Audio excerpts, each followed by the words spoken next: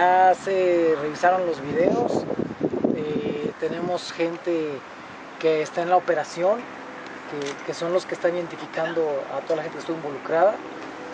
Y, y para buscar lógicamente que vaya de la mano a transparencia, que estén este, reportados los que estuvieron en los conatos. Entonces eh, sí tenemos ya un, eh, un número eh, importante de, de personas identificadas y eso estará haciendo llegar en su momento a, la Comisión Disciplinaria. Hay un porcentaje, yo creo que estamos hablando de unas entre 20 y 30 personas este, que están en, en los videos involucrados. No tenemos, te lo digo sinceramente, no tenemos todos los nombres todavía.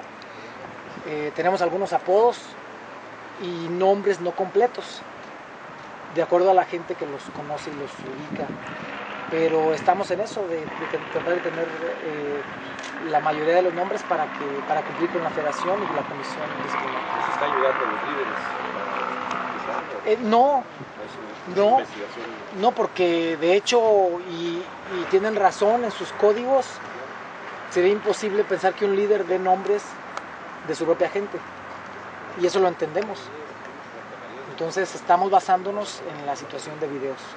En todos los videos, desde los que están en, en YouTube, eh, los videos que se pudieron conseguir con la gente de, de Cruz Azul, con la gente de Federación.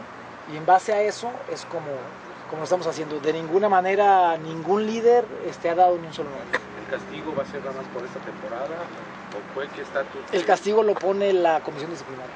Y cuando ellos lo decidan así, entonces los- lo dan a la cosa.